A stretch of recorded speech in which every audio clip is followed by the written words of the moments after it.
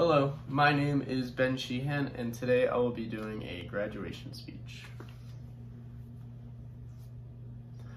Hello, everyone.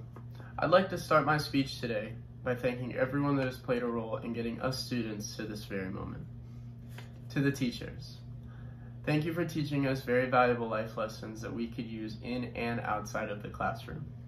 I know some of us may not show it, but I promise you, we all appreciate what you have done for us to our family.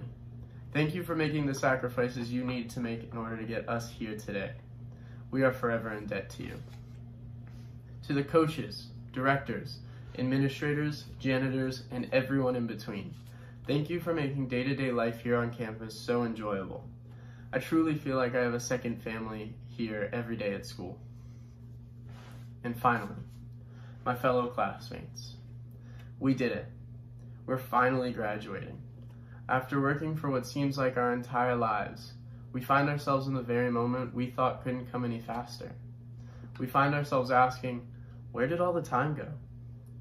I hope you can all look back at our time spanning from elementary school to today and can truthfully say you have no regrets. I hope you only have good memories to look back on throughout these days, because I know I don't. I wish I kept playing baseball. I wish I shot my shot with Olivia. And I also wish I joined more clubs during my time here at TCC. But in the end, I did not make these decisions. And rather than dwell on the decisions that I didn't make, I've decided to use this as a learning experience going forward. I plan on going throughout the rest of my college and adult life living a life with no regrets. Doing the things that I've always been too nervous to do.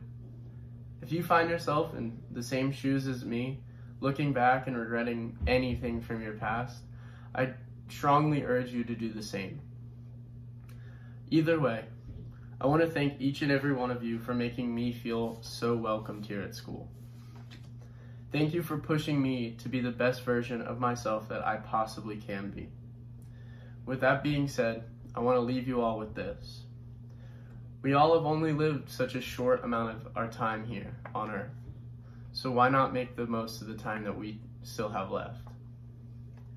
Thank you everyone and congrats to my fellow graduates.